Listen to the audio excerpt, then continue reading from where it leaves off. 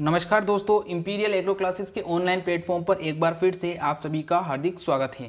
दोस्तों, आज की वीडियो में हम डिस्कस करने वाले हैं कि आपका जो जेट का एग्ज़ाम है, उसके 10 दिन पहले आपको किस तरीके से पढ़ाई करनी है और किस तरीके से आप एक स्मार्ट स्टडी करके अच्छे से अच्छे नंबर ला सकते हैं। क्योंकि अधिकतर जो टॉपर्स स्टूडेंट होते हैं, वो इसी तरीके से पढ़ते हैं। तो वही फॉर्मूला मैं आपको आज बताने वाला हूँ। अगर वीडियो पसंद आए तो प्लीज़ वीडियो को लाइक करना और प्लीज़ इस चैनल को सब्सक्राइब कर लीजिए ताकि इसी प्रकार के इंपॉर्टेंट वीडियोज़ के नोटिफिकेशन आपको समय समय पर मिलते रहें। सबसे पहले मैं फिर से आपको रिपीट कर देता हूँ। आठ अगस्त के दिन आपका एग्ज़ाम होना है।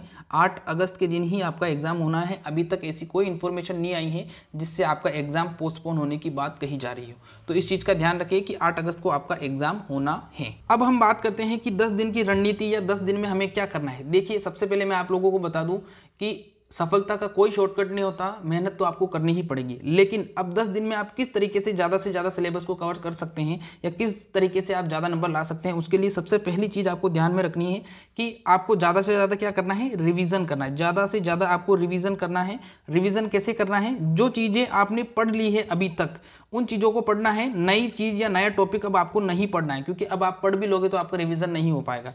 दूसरी चीज़ ये है कि जो पुराने पेपर सेट हैं, उन पुराने पेपर सेट को आपको अच्छे तरीके से निकालना है। पुराने पेपर सेट कौन से? पुराने पेपर सेट जो 2012 से लेकर 2019 2020 तक के जो पेपर हैं, उनको आपको अच्छे तरीके से निकालना है, जिससे आपको आइडिया लग जाएगा कि जेट के अंदर किस प्रकार के क्वेश्चन पूछे जाते हैं। फिर तीसरी बात मैं आपको करता हूँ डिस्कस एग्रीकल्चर के अंदर आपको जो पोर्शन है, उसका वो पोर्शन आपको बहुत अच्छे तरीके से देखना है, क्योंकि एग्रीकल्चर के अंदर 40 में से अगर आपके 37 क्वेश्चन राइट नहीं होंगे तो सिलेक्शन के चांसेस बहुत कम हो जाते हैं। क्यों चांसेस कम हो जाते हैं? क्योंकि एग्रीकल्चर के अंदर स्टूडेंट अधिकतर ऐसे मिलते हैं जो लगभग 40 में से 40 क्वेश्चन सही करने की काबिलियत रखते हैं। इसलिए आपको एग्रीकल्चर में सबसे ज़्यादा क्वेश्चंस को सोल्व करना है और नंबर को अचीव करना है। आगे बात समझ में? फिर आपको सबसे ज़्यादा क्या, किस चीज़ का ध्यान रखना है? ज़्यादा से ज़्यादा रिविजन करने के साथ साथ जब आप एग्जामिनेशन हॉल में बैठो तो एग्जामिनेशन हॉल में आपको माइनस या नेगेटिव मार्किंग नहीं करनी है, आपको गलत सवाल नहीं करने ये वेरी इंपॉर्टेंट चीज़ है, ध्यान रखना। मैं फिर से बता देता हूँ